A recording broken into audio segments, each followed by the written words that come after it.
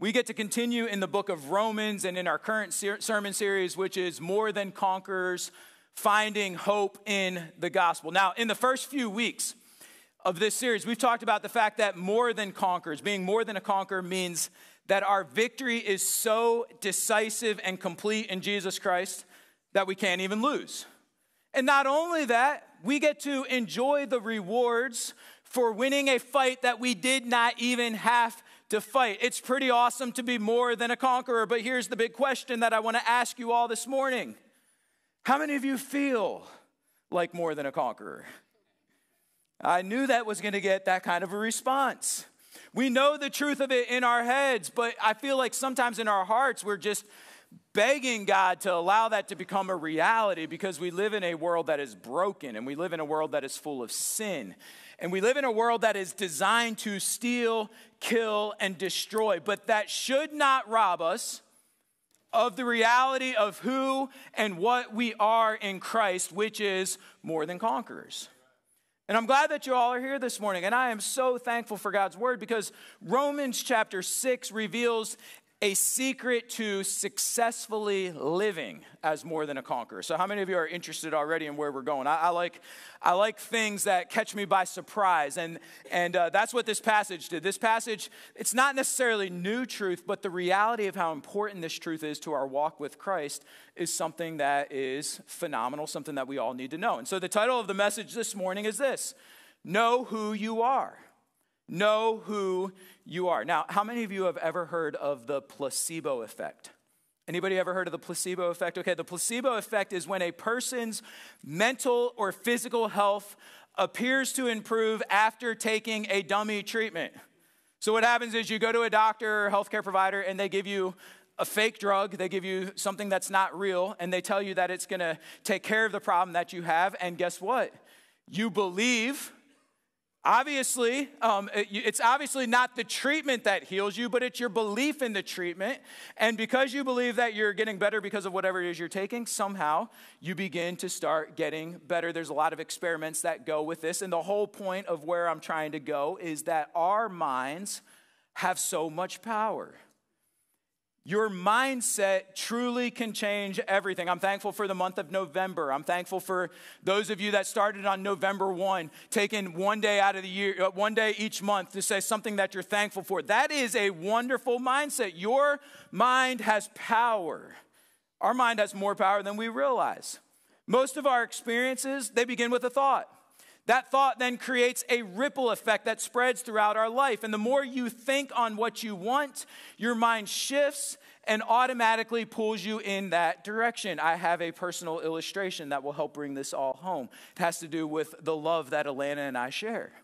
And it starts a little over 20 years ago. A little tw- over 20 years ago, on this very property right here, I was just a college student with so much to learn.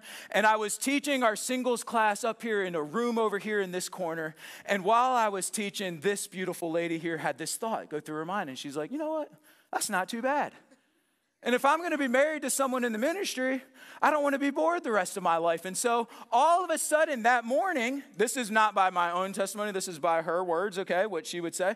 By her own example that morning, all of a sudden she started looking at Mike Brown a little bit differently. Before that day, I was just Mike Brown. After that day, I was, hmm, Mike Brown, interesting. so once that began to happen, she couldn't take her thoughts away from Mike Brown. This is a true story. I'm not embellishing anything this morning. So she could not stop thinking about it.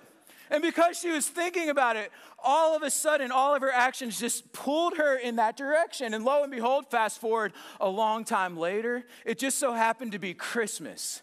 And I live in Pennsylvania, in Bloomsburg, Pennsylvania, but somehow Alana and her mom and dad ended up at my mom and dad's church that you have to go to on purpose in Pennsylvania because they just happened to be driving by. Okay, we had known each other for a while, and they were within about an hour and a half. So they did decide to come over to church, and they did hang out for that weekend. And she hung out at our house with our family, and we stayed up late playing games, and it was a lot of fun.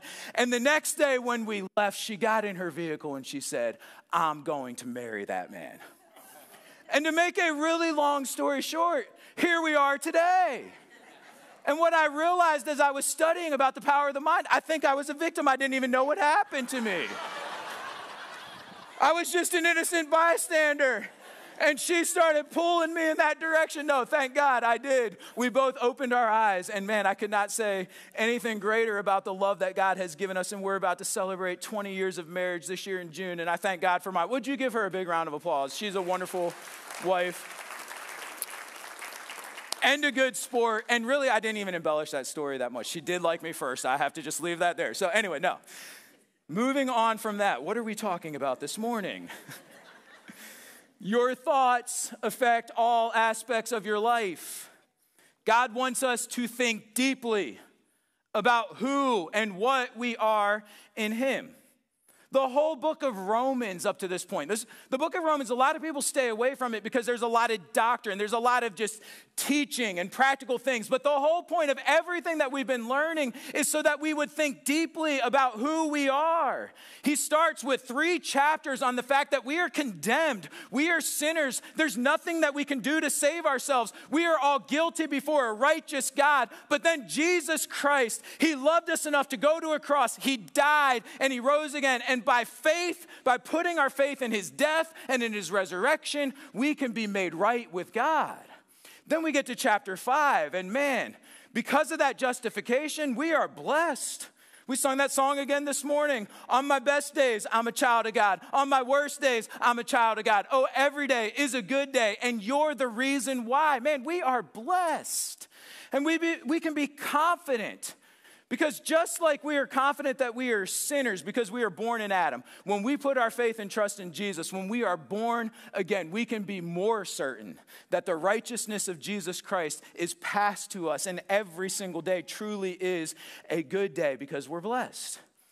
That's just a real quick recap, as brief as I could, of everything that we've gone through so far in the book of Romans that leads us up here to chapter 6.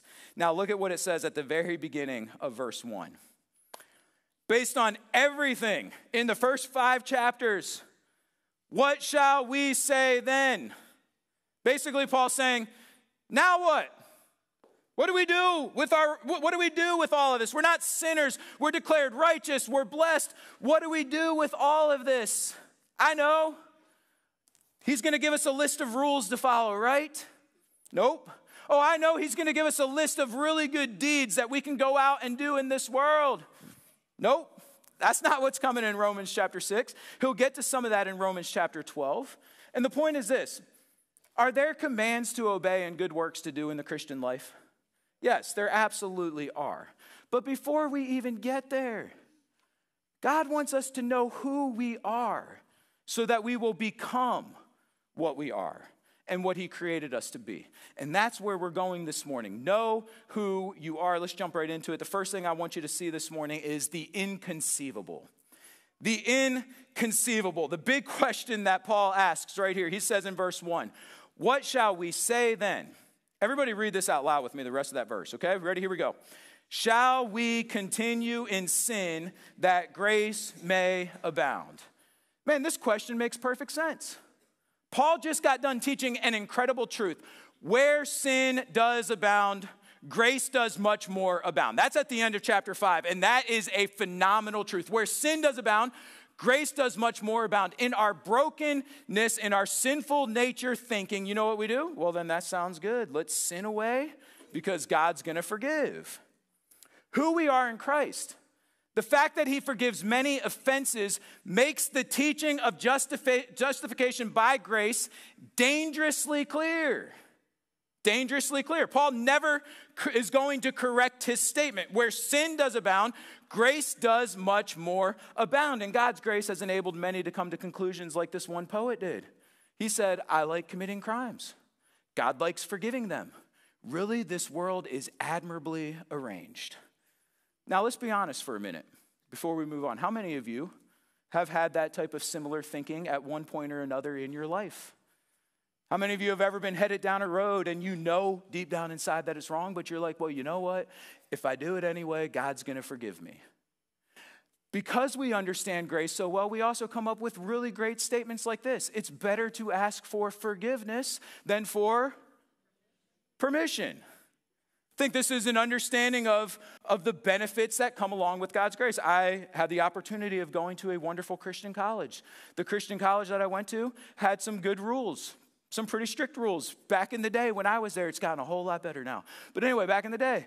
And you would get demerits if you broke the rules. Well, I found out that it was not until you got to about 75 demerits that you would start getting in serious trouble. So the way I looked at it is that's 75 bucks of cash I got to spend on good opportunities and fun times. You know, make sure you spend it wisely. That's kind of the thinking that's here. Where sin does abound, grace does much more abound. Does God want us to think this way when it comes to our relationship with Him? Look what He says in verse 2. Everybody out loud, those words together, out loud. What's He say? God forbid. God forbid that we think this way. How shall we that are dead to sin live any longer therein? It's inconceivable. It is inconceivable to even think that God saved you from sin so that you could continue in sin.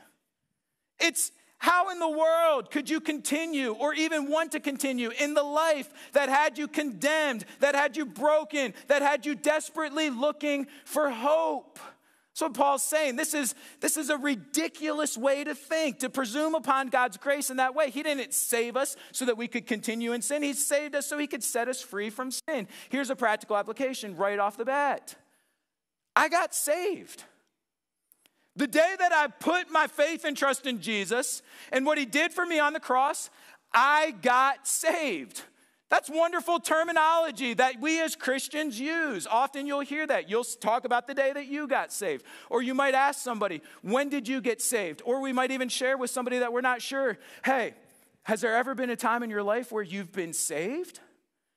Do you understand why we use that terminology? Because we were dead in our trespasses and sins. It was just like we were out in the middle of the ocean without any life preserver. And in given time, we're going to sink and we're going to die. But then Jesus came along and he rescued us. He saved us from our sin. He saved us from the condemnation of our sin. He literally set us free. Never get over the fact that you got saved. Are you saved? Do you know Jesus as your Lord and Savior? How can we who are dead in sin continue to live in there? We've been rescued right off the bat. This is where he's going, this is what he's talking about. Don't return to something that condemned you, destroyed you, and ruined you. Get delivered from that.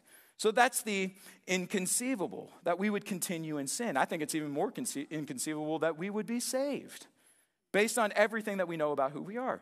Secondly, though, not only are we going to look at the inconceivable, we're going to look at the believable.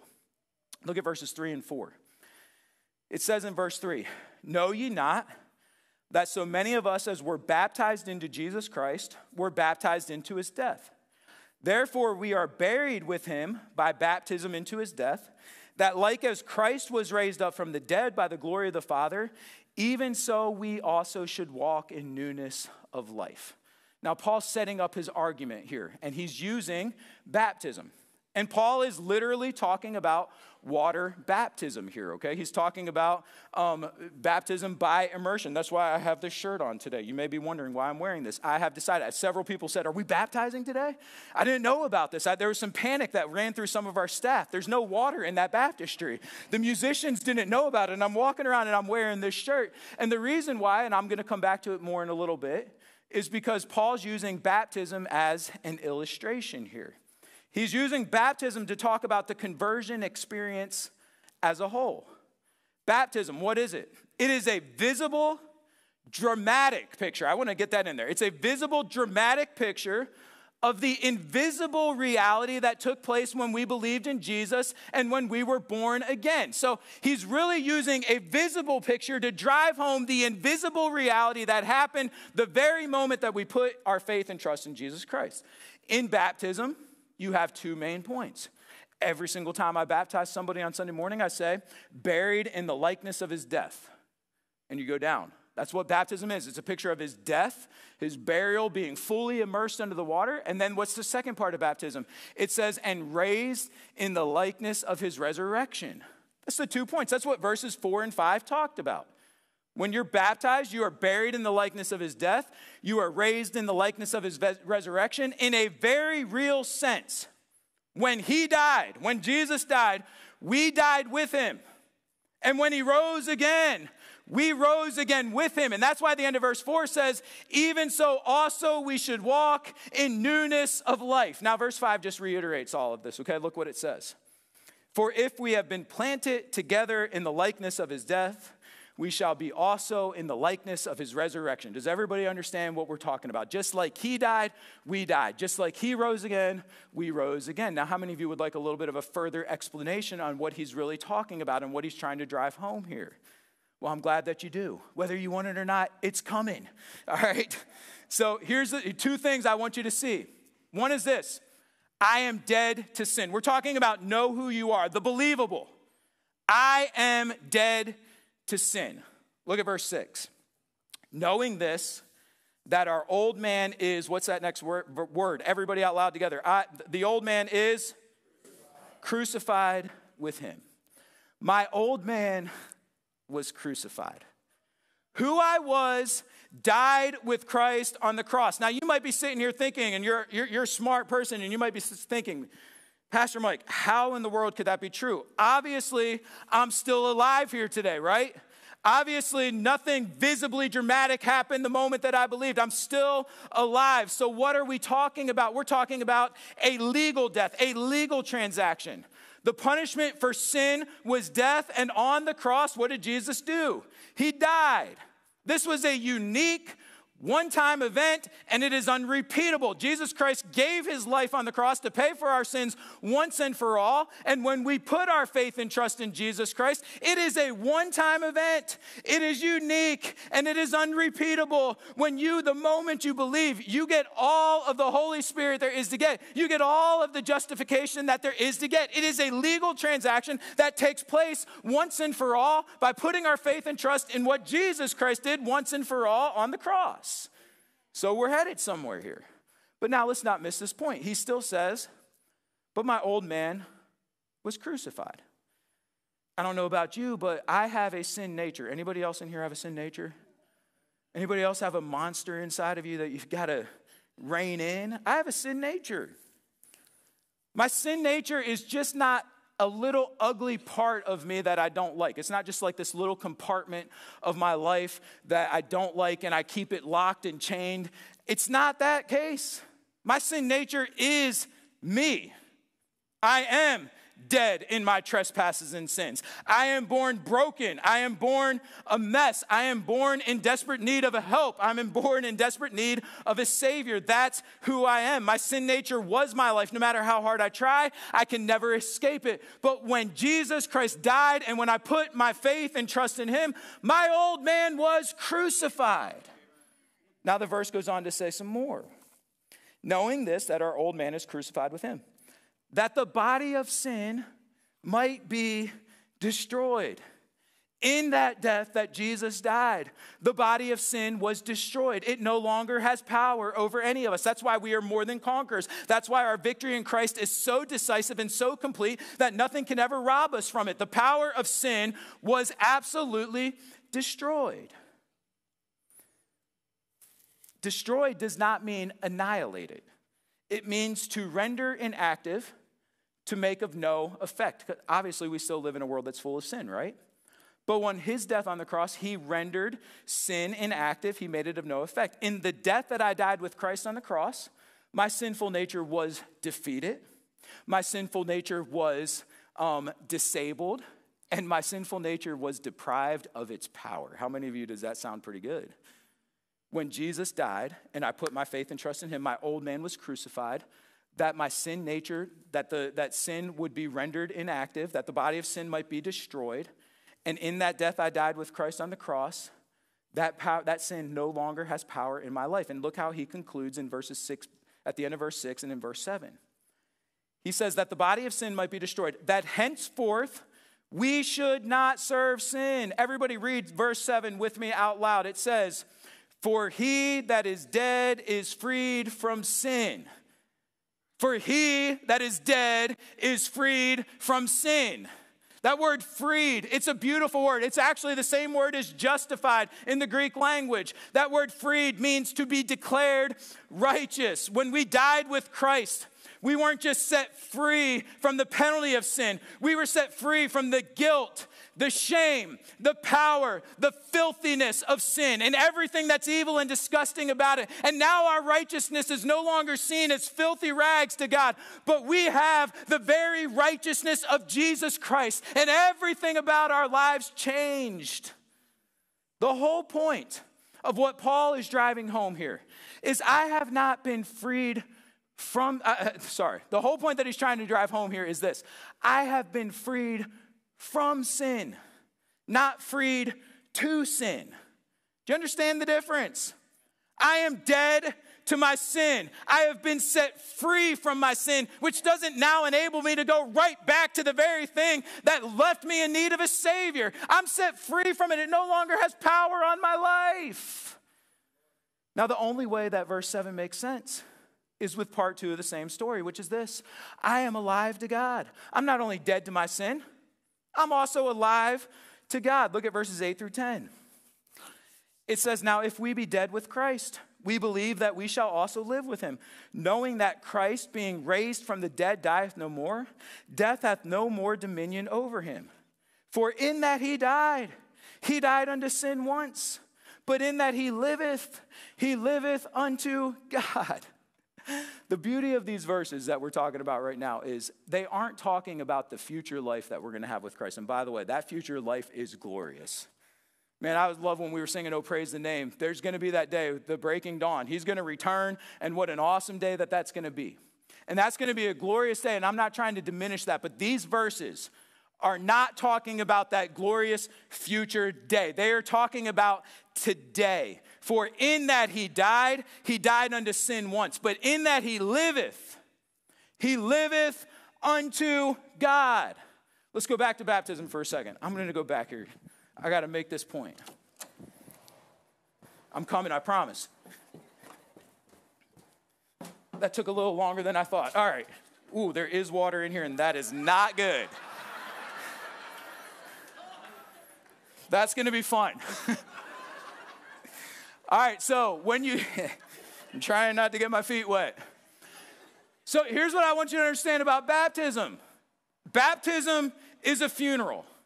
It's something new that I never had thought about before. But baptism, in a very real sense, is a funeral, buried in the likeness of his death.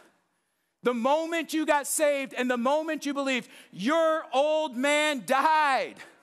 Something absolutely dramatic and huge took place in your life. You are no longer who you were. You become a brand new creation in Christ. So, buried in the likeness of his death, man, it's a funeral, but it's not a sad funeral because it's unlike any funeral that any of us have ever experienced at any time in our life. Because as quick as we die, guess what happens? We come back to life, buried in the likeness of his death raised in the likeness of his resurrection, even so walk in the newness of life. And that's why I have this shirt on right here today, because I have decided.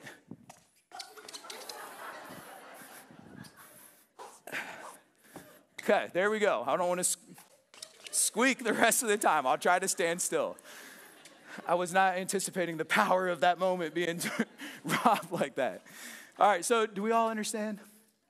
It's a funeral, but it's a resurrection at the same time. And at the end of it, even so, walk in the newness of life because our God is alive and He is a living Savior. And so we get to the last point of what we're talking about know who you are, the doable. The doable. I have decided. Listen, verse 11 is the key to everything that we're talking about this morning. It's the practical application. Look what it says. Likewise, reckon ye yourselves to be dead indeed unto sin, but alive unto God through Jesus Christ our Lord. Remember back at the beginning of this message, we're talking about the power of our minds. We're talking about knowing who you are so that you can become who you are. And he says, likewise, Based on everything that you've heard so, so far, reckon yourselves to be dead indeed unto sin. That word reckon, it is an accounting term. It's like going to the bank and checking your balance. And when you look at the balance of your bank account, there is $1 billion sitting in that bank account. Now, reckon means this to deem or consider something to be true. So if I go to my bank account and there's a billion dollars in there, that's going to be a miracle by God. but if I go to my bank account and I check it and I see $1 billion in there, I'm to reckon, I'm to deem or consider it to be true. And then you know what I'm to do? It's more than just acknowledging that with your head, it's living like it's a reality. If I got a billion dollars in my bank account, I'm to act like a billionaire. I'm gonna buy a mansion, some nice cars, and a yacht, and a few other things, and I'm gonna get my wife a really awesome birthday present this week because I'm gonna live like that's a reality. You know what God's telling us to do? Likewise, reckon yourselves also to be dead unto sin and alive unto God. Do you understand this morning that God desperately wants you, and you're not one it dead or alive, you're one it dead and alive. You understand what we're talking about? I am dead to sin. I am dead to my past, and I am now alive unto Christ. And I'm gonna walk in the newness of life. And I'm gonna look into the bank account of God's word. And I'm gonna look at the cross and what Jesus Christ did. And I'm gonna look at the evidence of his goodness that's all over my life. And I'm gonna make a decision that I'm gonna live like this is a new reality every single day of my life. Do you understand why this is so much better and so much deeper? Than just a list of rules and a list of good works to do. Because if we reckon ourselves to be dead to sin and alive to God, we're naturally going to pick up this book and we're going to run to God's word. We're naturally going to be hungry for a relationship with Him. We're naturally going to want to be obedient to what He says we're going to do. And so we better park here and understand the gigantic reality that took place the moment that we believed in Jesus as our Savior. And so to reckon is all about I have decided. What's the doable? So we're gonna look at the, the bank account and we're gonna realize I'm dead and I'm alive. So now what? Well, I've decided to rebel. I've decided to rebel. Look at verse 12. Let not sin therefore reign in your mortal body, that ye should obey it in the lust thereof. Based on the fact that I am dead and I am alive, I will not let sin have the power and control in my life. Here's another another undeniable reality. Even though sin and death has been rendered inactive and it's powerless in our lives, it still has a lot of power if we give it its power, right? It doesn't mean that I'm not prone to sin. It doesn't mean that my heart still does not crave things that are not good for me. It doesn't mean that I still don't have struggles and I still don't have a desire to cave into the lust of my flesh and to do things that I know are not right and are not wrong. And what I have to come to the conclusion is because I am dead and because I am alive, I'm going to rebel against everything about my past and against everything that's not going to be pleasing to God. And I'm going to stand up and walk in the newness of life that He's called called me to walk in. Here's a question Are you dead to sin? Are you truly dead to sin? When you got saved, you may not have realized the dramatic exchange that was taking place. You, you, knew you were a sinner. You knew that Jesus Christ died on the cross for your sins, but you may not have realized that something huge is happening. Like, my, my old man is dying. And I'm becoming a new creation in Christ, and the Holy Spirit's going to enable me and give me power to live my life in a different way. And you may not have understood that at the moment of salvation, but you're here today and you're hearing the truth of God's word and you're seeing it for yourself. And the question that I have for you is this Are you dead? Have you gotten to the point in your life where you said, I don't want anything to do with my past. I don't want anything to do with sin. I don't want anything to do with what's going to hurt and destroy me in my life. I want everything to do with who God is, and I'm going to rebel against that, and I'm going to walk away from it. How many of you in here got saved under 10 years of age? Go ahead and slip your hand up if that's you. That's the majority of people in here. Here's what I know to be true. If you got saved in your 20s, 30s, 40s, I have zero doubt in my mind that you want nothing to do with your past life because you know wholeheartedly what drew you to Christ. But sometimes when you grow up in a Christian home, we don't take, we don't fully appreciate that exchange that happened in our lives. Because what does a five year old get saved from? Throwing some temper tantrums to his mom and dad? Listen, here's, here's what I want you to understand we get saved from the same sin that any adult gets saved from. And it's just a dramatic exchange that takes place in our lives. How many of you that got saved under 10 years of age had another point in your life where you got saved again or you got assurance of your salvation and you made sure that you knew for sure you were saved beyond a shadow of a doubt? How many of you had that experience? Man, Alana and I talk to people like that all the time. We both had a similar experience to that in my life. And here's the conclusion that I've come to only you and God truly know if you've been saved. And I do believe that salvation is being born again, and there's a, a time and a place where you truly repent of your sins. It's not like you just all of a sudden know and you're saved. No, there has to be a belief and a repentance in Jesus. And only you and God know if that happened and took place. But here's what I believe with all my heart as you get older and as you start growing up, you start becoming aware of the fact that I'm a sinner. And I don't always obey my parents, and I don't always do things that I like to do. And I've got some some really difficult pulls to the things of this world. And you know what we have to do? Sometimes the Lord makes us start questioning whether or not we're truly saved, not to make us doubt, but to help us to take that next step forward that I am going to rebel against sin. I'm not going to let it reign in my body any longer. I am a new creation in Christ. Old things are passed away, all things are become new. And it's a part of our sanctification and it's a part of our growth. So, have you nailed that past life? Have you nailed it to the cross? And for those of you that have been shielded and have been had the privilege of growing up in a Christian home, in a Christian environment, look around at people who choose their own way, and you will see the truth of God's word playing out every day, over and over again. When lust hath conceived, it bringeth forth sin, and sin, when it is finished, it bringeth forth death. There are consequences to sin, there is baggage that comes with sin. Rebel against it. Reckon yourselves to be dead indeed unto sin, and then alive unto God. And that's what verse 13 is all about. Look what it says. Neither yield ye your members as instruments of unrighteousness unto sin, but yield yourselves unto God as those that are alive from the dead, and your members as instruments of righteousness unto God. I have decided to rebel, and I have decided to yield. And just like before I was saved, my members, my physical, mortal body, everything about me, my eyes, my ears, my hands, my feet, my mouth, my tongue, everything about me was dead in its trespasses and sins. Therefore, it wasn't used to glorify God, it was used to glorify myself.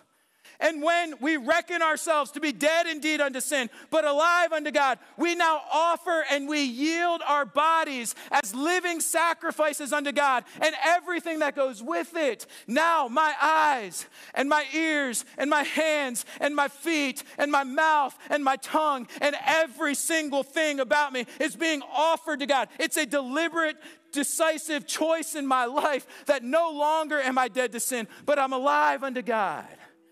How do you get to 50 years of service on a mission field in Australia? How do you get to be in your 70s and you're still not done? And you still got that fight left in you.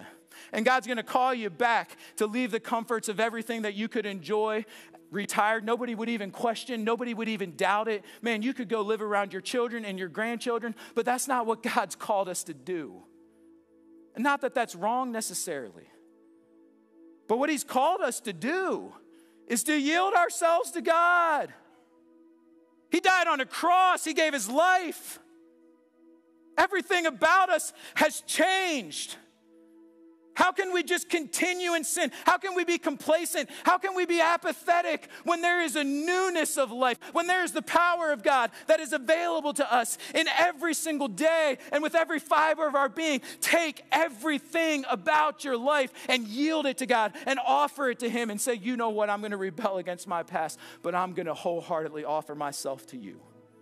And whatever you want, wherever you're going to lead, that's where I'm going to go. This is where it all starts. It's not about being at church today. It's not about how much you serve. You can be doing all of those things and you can be so far off base from where you're truly supposed to be. Are you dead? And are you thankful that God saved you and delivered you from everything that your past was and everything that you could be, but by the grace of God? But are you alive? And are you walking in that newness of life? Have you decided? Have you reckoned? Have you looked in the bank account of God's word and said, That's who I am. That's how I'm going to live. That's what my life is going to be every day. I am dead and I am alive, and I'm going to walk that way.